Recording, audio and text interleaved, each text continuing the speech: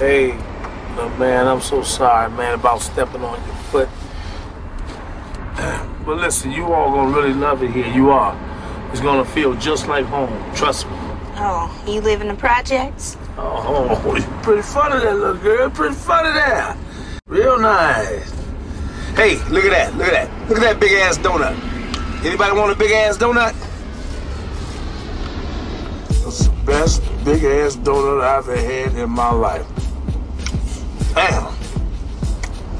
Mmm, mmm. Anybody sure they don't want to bite of this big ass donut? We don't feel like eating. Good. You ain't gotta eat. You ain't hurting me. I'm full. My stomach hurt anyway.